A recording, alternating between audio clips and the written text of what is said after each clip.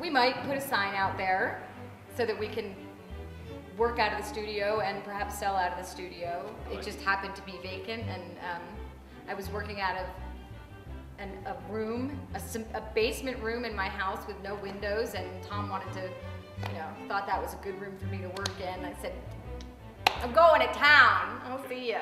So I just need to, I need to be able to spread out, and I tend to make a little bit of a mess. Rush is in a cup. You should have seen it yesterday. I've come a long way.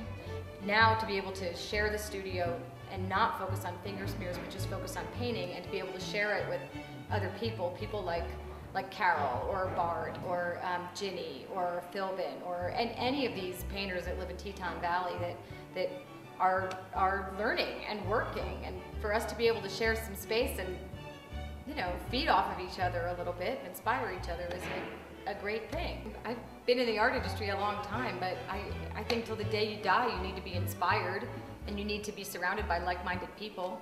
That's what inspires me. I love being around other people that are working and learning and doing.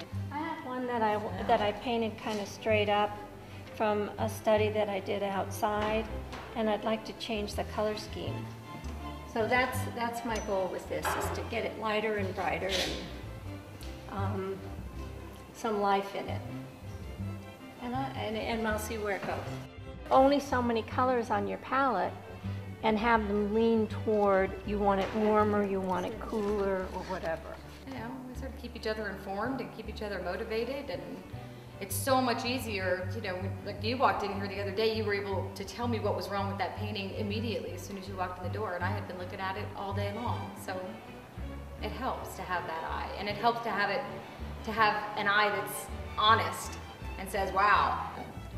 Yeah, sometimes it's nice to paint with wine and cheese, but most of the time it's just nice to paint with music and a clear mind.